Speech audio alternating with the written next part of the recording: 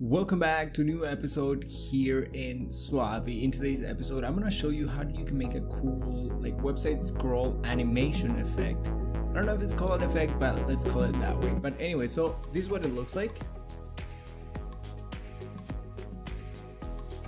Okay, so the first thing that you're gonna need is um, okay, let's hop into the screen and I'm gonna show you what you're gonna do first. The first thing that you need is you're gonna go to your page. We're gonna use the Theia transitions page here in this case, and we are gonna use this tool or this plugin on Google Chrome that's called Go Full Page Full Page Screen Capture, I think it is.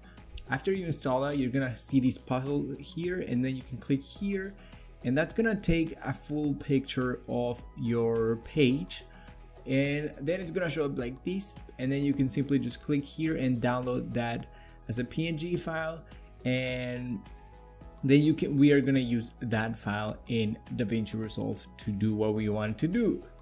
Okay so now that we have that we're gonna go into DaVinci Resolve and I'm gonna show you what you have to do. I'm gonna show you the easy one of the ways that you can do it maybe the easiest way and the way that it takes the lowest or lightest uh, on your system because there's many ways you can do a 3D way, 2D in Fusion, but this one is like a mix. So yeah, let's just jump into the screen again and I'm gonna show you that step and I'll see you at the end of the video.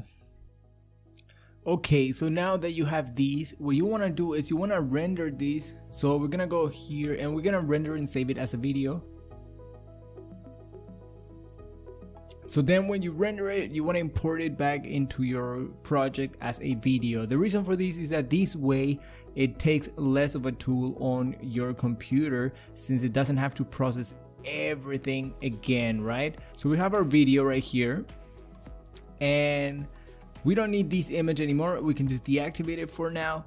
We're gonna right click these and we're gonna open these in the Fusion page and in this page what we can do is we can add the the what do you call that? The the border.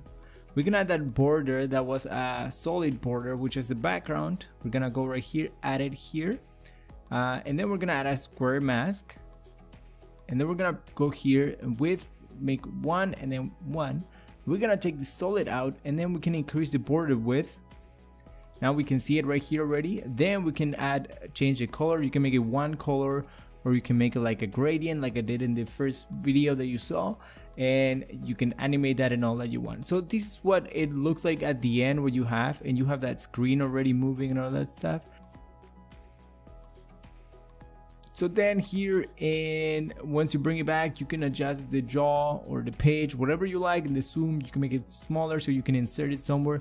So then once you have your page then you can just basically add it to on top of any video or you can just leave it like that as it is. Um, and do, you can just be as creative as you want as always as I always say.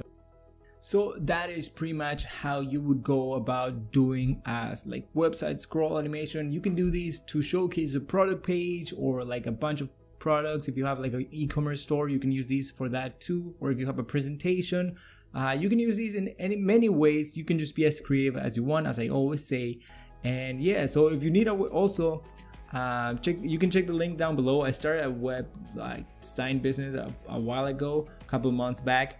Uh, so if you need a website you can also check that link down below. And yeah i hope that you enjoyed this video. And if you find it helpful let me know down in the comments below. And if you do have any other requests or any ideas or content that you want me to make or figure out like an after effects video or something um, just let me know down in the comments. You can link it down below. And yeah that is pretty much it. So i hope that you enjoyed this video. And also let me know if you like this format. Do you want me to be on screen or do you just prefer me to be off screen? I, I don't really mind. Uh, it's okay if you just wanted me to use this screen recording. Uh, but yeah so let me know down in the comments. And i hope to see you in the next episode here in SUALVI bye